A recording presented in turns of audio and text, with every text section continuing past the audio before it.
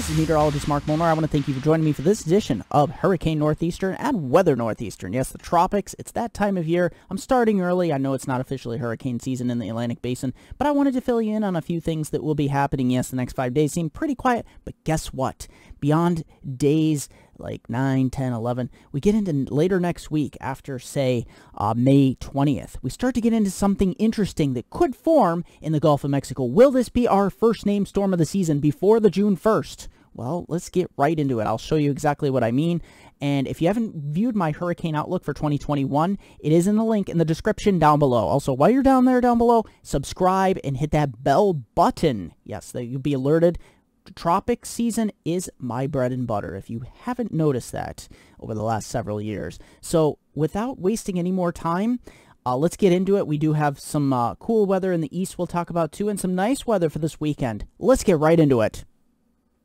Uh, taking a look at the tropic basin here, I knew this is uh, before the hurricane season starts, but I like to start things early. Uh, let's take a look at uh, the Atlantic basin. We have those triple high pressures in control. It is pretty boring, at least through May 18th. Uh, the jet stream towards the weekend will start to ride a little bit higher across the U.S. East Coast. For the time being, it will be a bit troughiness here in the east. Uh, but however, there is something uh, on the horizon, as I talked about in the beginning, in the Gulf of Mexico uh, that I do want to alert you to.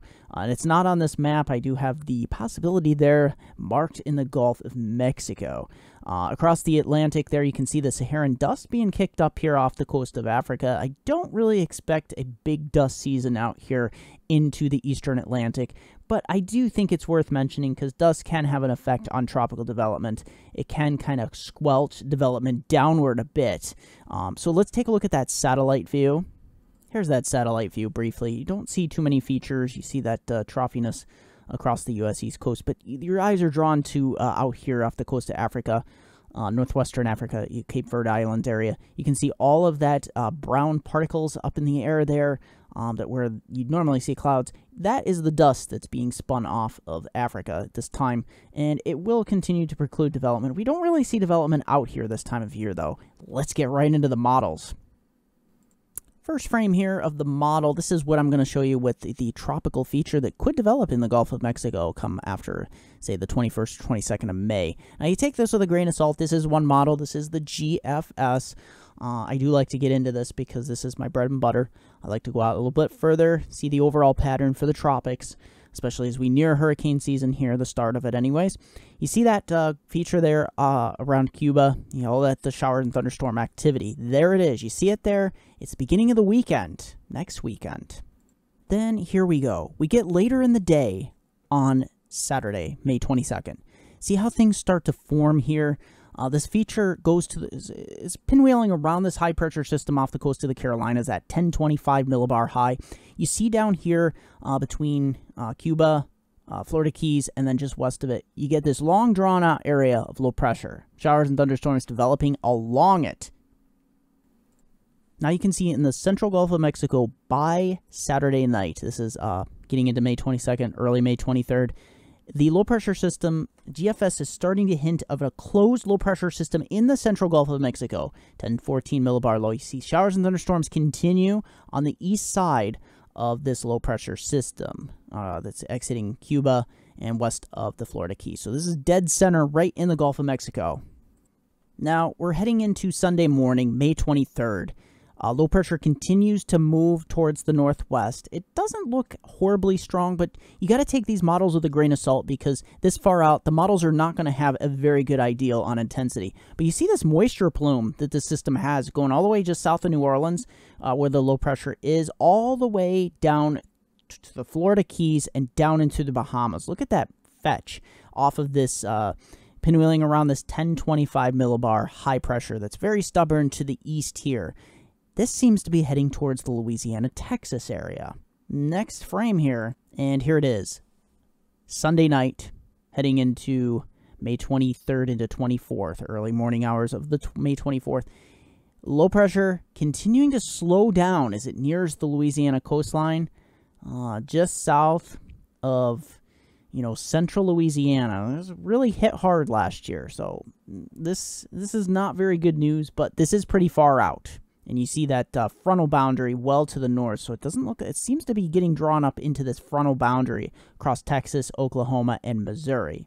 And there it is, last frame, Monday, uh, mid morning, I would say, May 24th here.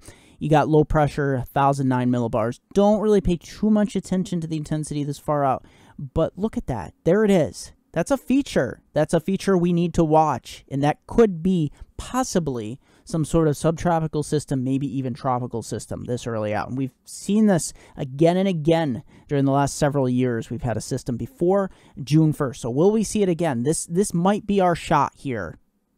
In that last frame, you see that right there. That's where it has it making some sort of potential landfall right there along the Texas Louisiana border. So we need to watch this and look at all that moisture plume just south of Louisiana down into the Yucatan and Cuba.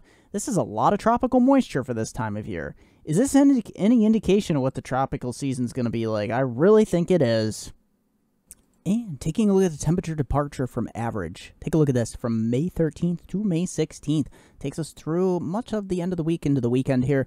We're looking at temperatures uh, pretty much below normal, especially across the deep south here. Uh, this is not to say that you won't have nice weather, you probably will for the most part. We're going to see a very big decrease in the severe weather, which is very good news um, to say the least, because you have been having a lot of severe weather here across the south. But here across the northeast, we'll be anywhere from 3 to 5 degrees uh, below normal, especially this weekend, but it won't feel like that because you've been so cold for so long. So you'll be approaching 70 in many areas. So this is not too bad. We'll still slowly warm it up next week. Here you have it. Severe weather, non existent. That is great news, isn't it? Many across the south are sick and tired of that severe weather. That is one positive aspect of having those colder temperatures down south. So there you have it. No severe weather I'm expecting through late weekend, May 16th. Taking a look at the NAO index, look at this. You pretty much see that uh, when spring came along, it was time for the NAO to go negative because you know that's way just things go. Uh, we pretty much stayed uh, through the latter portion of winter time. Uh, from February onward, he stayed uh, the positive NAO index, uh, but as soon as springtime came along, there you have it. So we're going to continue to stay negative. We'll still have that bouts of storminess, especially back east. And there it is, precipitation totals. Not much on both coastlines, but look at that, right in between we have a lot of tropical moisture that'll be feeding into some of the frontal boundaries here across the midsection of the country. Uh, this does not include later next week when we get into that potential for that tropical system, whatever that may be in the Gulf of Mexico. Uh, so this is a precursor, but we will have a lot of tropical moisture that will be feeding into Texas. So Texas will be getting quite a bit up towards Kansas and Missouri as we have those stalled out frontal boundaries continuing and storming us. Taking a look at your upper air pattern. Look at this. Take it with a grain of salt, shall we? Yeah, it looks really, it looks a lot worse than it is. It will have below average temperatures across the east, especially the deep south. But the, the really good thing here is the lack of severe weather. We just won't have the dynamics due to all that cold air pouring down. Now, it's not going to be bitter cold yeah, you'll be anywhere from 15 to 20 degrees below average. But look at that, across the Northeast, you'll only be about 3 to 5 degrees below average. That means you'll be heading towards 70 in many areas across the Northeast. Not too bad. You'll have that upper level low will be moving out as well. This trough will slowly kick out of the east into next week. And viewers sent in photos and videos. Derek Rentschler from Lebanon County, Pennsylvania. Look at this. Back on May 8th of 2021 here, a very beautiful, nice rainbow across the Lebanon County area. Having a lot of rain showers in the area and sun coming out behind these rainfall creating these nice rainbow effects. Nice capture there, Derek. Taking a look at your Thursday across the Northeast, look at that. You can't get any better than that brilliant sunshine. Uh, not a cloud in the sky. You will have a frosty start across many parts of the valleys, locations especially upstate New York into northern Pennsylvania and parts of New England. But after we burn off all that frost and uh, fog and clouds, look at that. You really get into some really brilliant sunshine. You'll almost wish it was TGIF because look at that. You'll get out of work and it will be brilliant. That big ball of bright light in the sky. So there it is. It sets us up for Friday. And there it is. Look at that. That's the day of the week you always wait for. Look at that. We do have some scattered showers albeit a small chance, 20 to 30%. the, the big story will be the temperatures. We pretty much are pushing towards 70, and if not 70s in many areas, look at that New York City. Nice place to go this time of year. Long Island, we're pretty much staying dry as well into Boston. Most of the scattered showers will be during the afternoon, evening hours across parts of upstate New York, Northeast Pennsylvania, into central and southern Pennsylvania as well. But for the most part, looking really good. And here it is. Look at that. Saturday. It's many people's favorite day of the week as well. Look at that. We're starting to scour out. We'll have that chance of a scattered shower, uh, maybe up to 20 percent but for the most part the real big story here is not going to be the rain it's going to be we will have a lot of sun in between those raindrops and look at that lots of lower 70s this is really brilliant it's really nice and it will set you up for a really really nice Sunday. I promise you that. Let's let's get right into Sunday here. And there it is. Look at that. Sunday. This this is by far probably the best day on my forecast list here.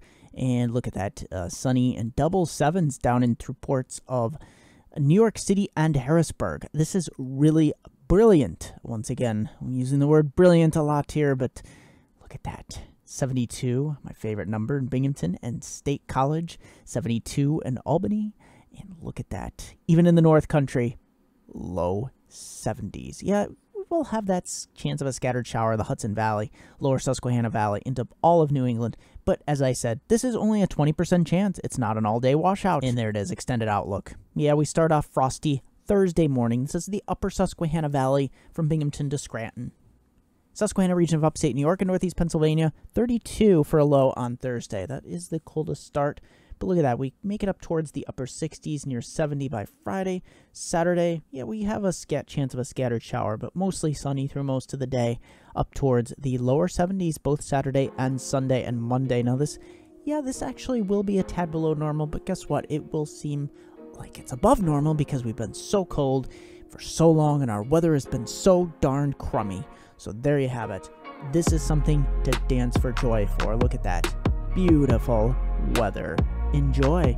As always, I want to thank you for joining me for this edition of Hurricane Northeastern and Weather Northeastern. Don't forget to hit the subscribe button and the bell button so you're alerted when I come out with one of these videos. Facebook at Meteomark, Weather Northeastern, and also WX Northeastern on Twitter, Hurricane Northeastern, also on Facebook. It's Meteomark.com and WeatherNortheastern.com. Thank you once again for joining me.